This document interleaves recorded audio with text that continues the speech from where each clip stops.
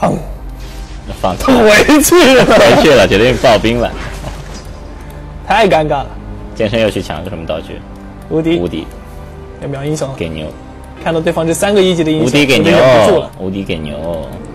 看他无敌给剑圣的话就是点英雄，无敌给牛的话一人一个，啊、一人一个可以的。谁都不落空。哎，这个时候冲呀！冲！啊呀的，漂亮！小精灵上来自爆了，但是把牛给抱了下来。牛头人还有一记冲击波，等 CD，等到这一记 CD 呃冲击波的 CD 到了之后再冲一波，然后还有个魔瓶可以。哎，漂亮！好的，先出手了，对方只抽到十三点魔。看到吗？还有一个魔瓶强。杀恶魔猎手，恶魔猎手吃了一瓶血，其实这个时候老牛没没有必要冲下去啊，冲上去，因为对方还有个 CD。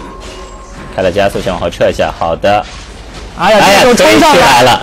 啊，牛头没魔了。啊、因为一个小魔是回不到两级冲击波的。但是这时候猛禽都已经非常贫血了。现在一定要注意这个剑圣啊，嗯，就锤剑圣就可以了。还有狼骑网吗？没了。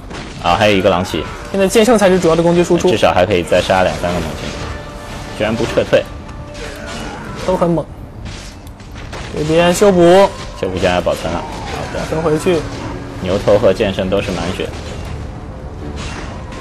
后面苦攻拉了上来，被母亲点集中火力点掉了那个碧血的白牛，兽王觉得不行了，回城了。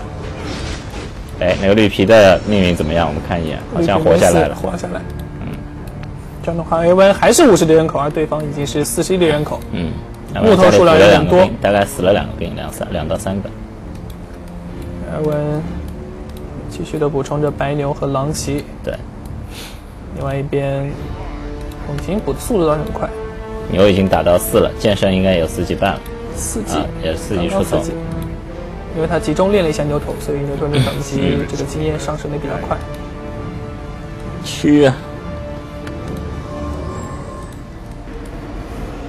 哇，一个不知道从哪来的 难民狼骑，已经开始流动采矿了。这绝对是从中东来的。去一下，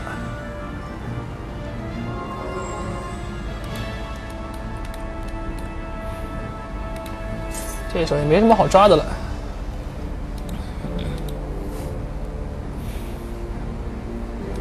就看一下对手有没有开矿就行了。我感觉我这个时候应该没有什么机会开矿，没什么资源开矿。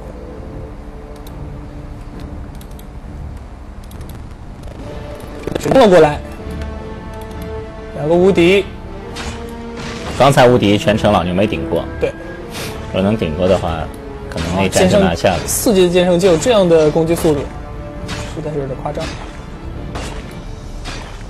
我招式稍微简单了一点，准备买回城了吗？买了回城，准备回去。这防的什么呢？